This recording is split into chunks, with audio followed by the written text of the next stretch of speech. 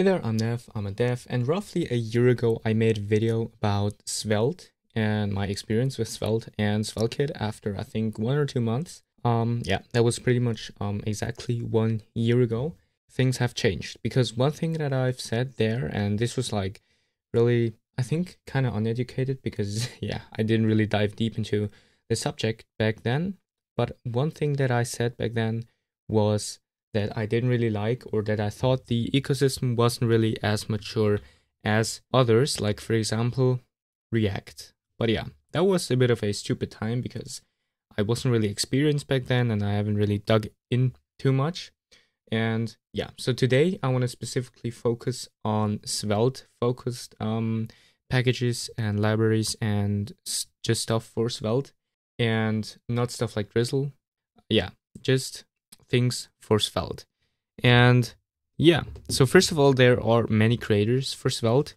Um, if you go to Huntabyte, I think he's probably maybe one of the biggest um, contributors to um, the Svelte ecosystem. Um, he has done many things um, for the Svelte ecosystem. Yeah, let's first start with the SV, with the SV ecosystem um, which is basically something that he is a contributor, and I think he makes this with two other people, and they make very nice stuff. Um, like for example, Runed uh, or FormSnap. I think PaneForge is also pretty nice. Um, so yeah, let's just go over them. Runed.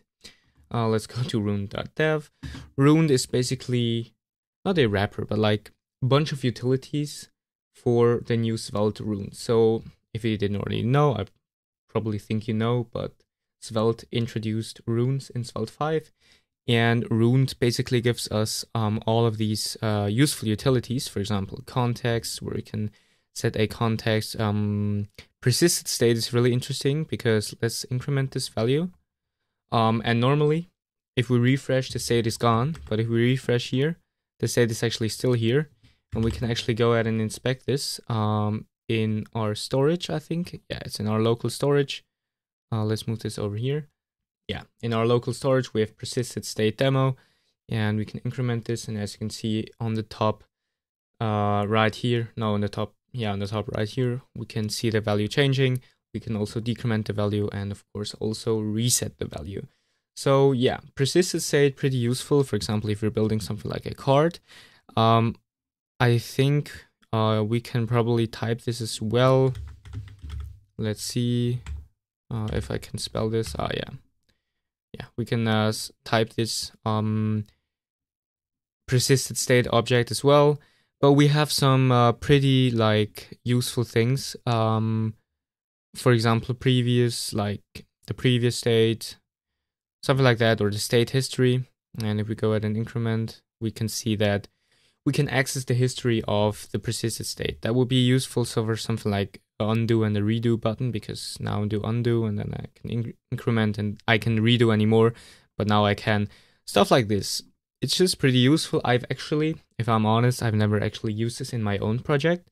Um, but yeah, I would highly recommend to use that in uh, your project if it's getting more complex. And if I'd be building a new uh, web store or a new e-commerce store with Svelte kit, I would definitely go ahead and use Runed for that. Yeah. So the second thing we have here is FormSnap, and we're gonna talk about FormSnap just in a second because for FormSnap I need to explain what Superforms is, which we will come to in a second.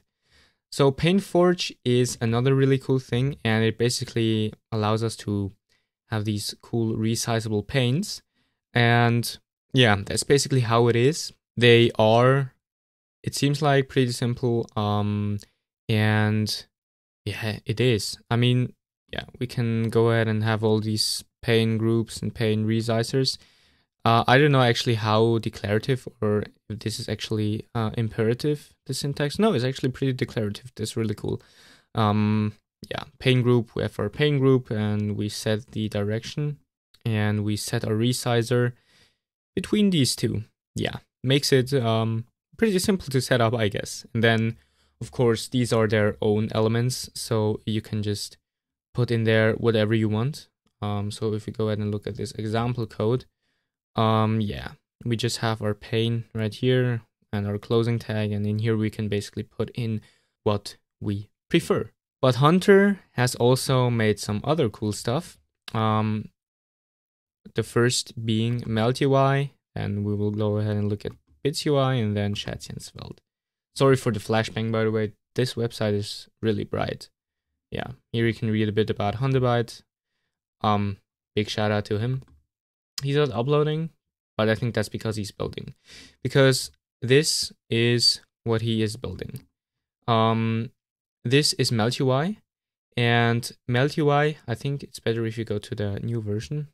Oh, the new version is not really there. Okay, this is the old version, but I think the new version is underway. Uh, so the Svelte 4 version is that what we are looking at right now, and it's not really a UI library, but it gives us all of these primitives. So if we, for example, um, would go and build a drop-down menu like that, um, we would have all of these um, primitives like menu, item, trigger, and arrow. And uh, we could just um, use melt and then item and yeah, it just provides us the necessary primitives and then we can build around them. I think that's pretty interesting. Uh, I like this approach, um, but I haven't actually tried it out myself yet. And I don't really know if it's really my style of programming. I, I like to have everything with a bit more layers of abstraction, like for example with Bits UI. BitsUI gives you basically unstyled components like this accordion. I mean, yeah, it is styled in, on this website right here. Theoretically, it is unstyled. You will see that if you import them into your project, and you will then have to style it yourself. Next, we have shadcn-svelte. If we take a look at everything that we just um, covered, and we would build like a pyramid with all of these layers, like uh, on the bottom we have Melt UI, and then we have Bits UI, and then we have PaneForge and Runed and FormSnap, which I didn't already talk about. Um, we have PaneForge, and then on top of that is really shadcn-svelte.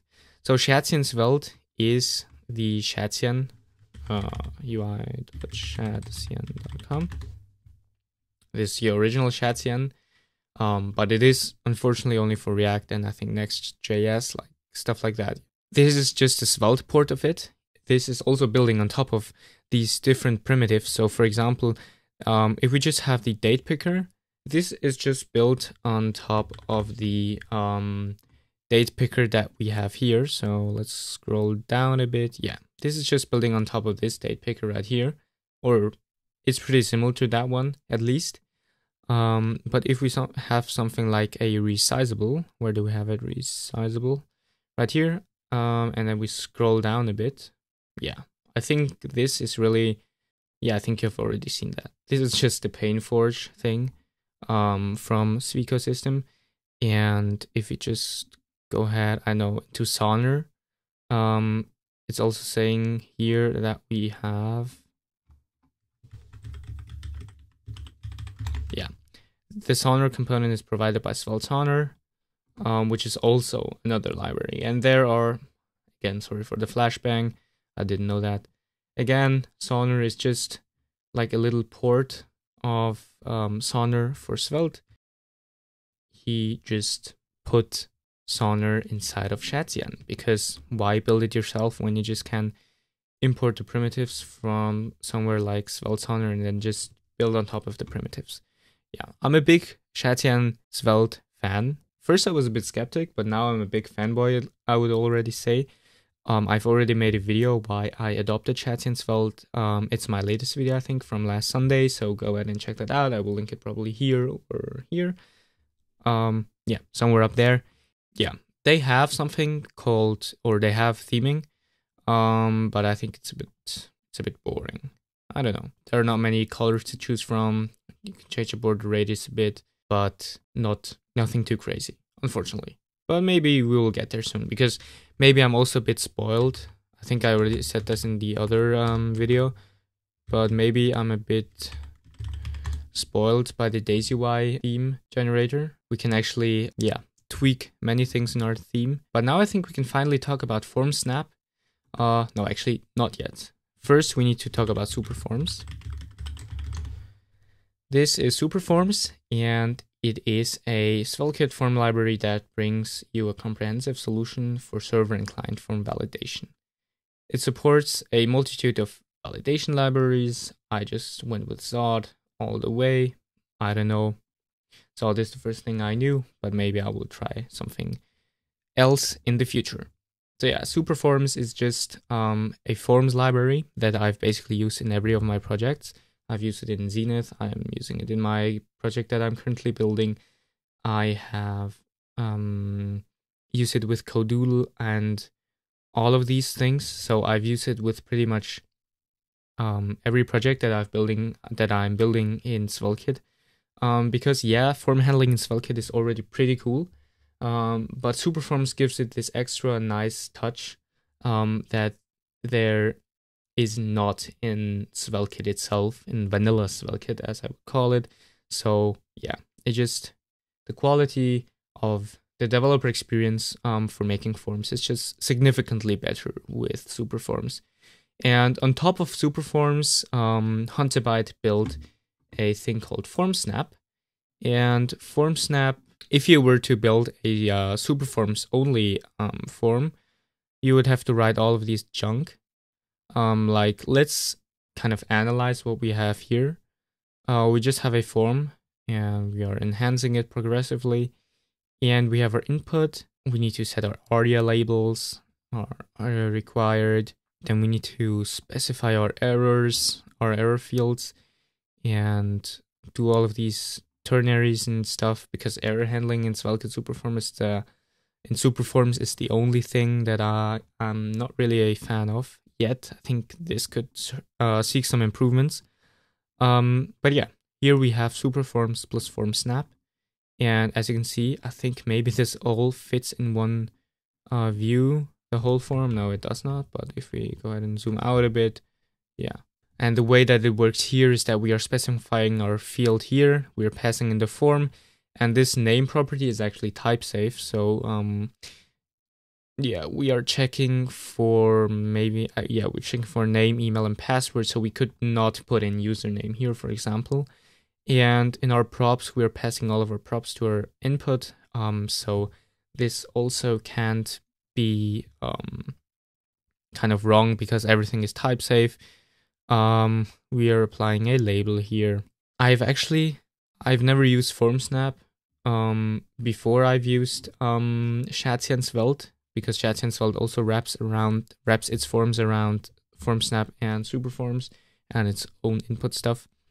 But um, now I'm seriously considering it, using it more, um, because it just takes away all of this crap that I am repeating myself every time I am building a new application with um, Superforms, and I I think it's completely necessary, right? I don't want to have an inaccessible form or just a shit form.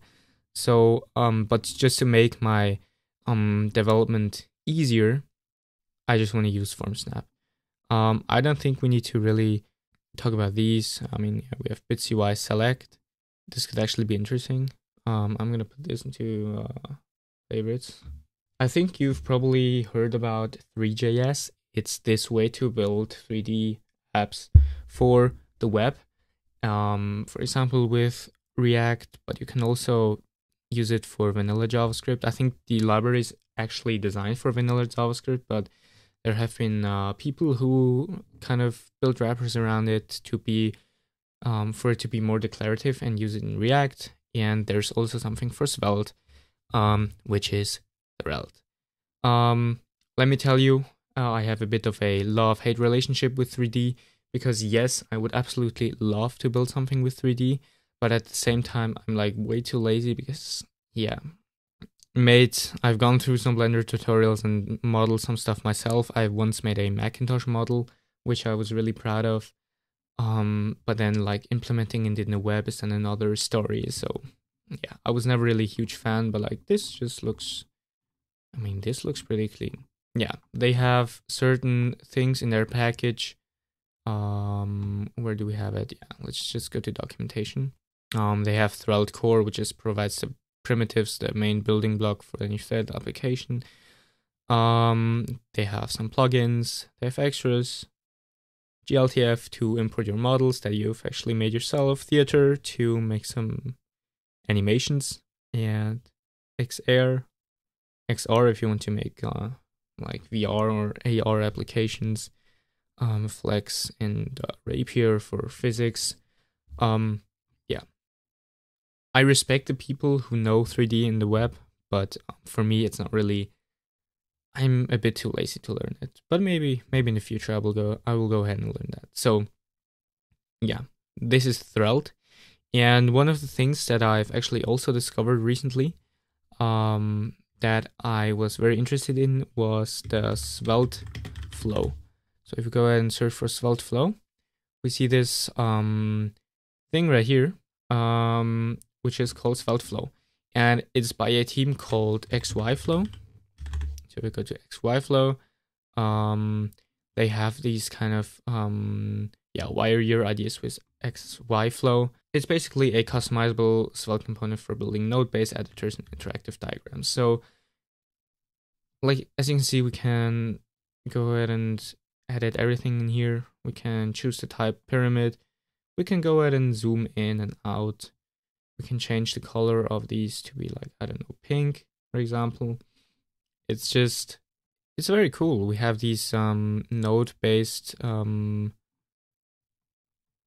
things. Um, I don't really have a use case for that yet, but maybe I will use it uh, in the future. Um, like something like a mini map is just super useful, right? It really reminds me of something like Miro, the Miro board. Um, and I could see myself building something like this myself, especially with this um, library. copy, copy an adventure, right? These were kind of the libraries that I use myself or that I just find very interesting that there are for Svelte. And yes, I was kind of wrong. Svelte ecosystem is actually not immature at all. It has some pretty cool uh, things. And yeah, I think the best way is just to try it out and then look for yourself. And if you enjoyed this video, go ahead and give it a like and subscribe to the channel. If you don't want to miss out any future videos, go ahead and activate the notification bell and we will see us in the next one. Bye.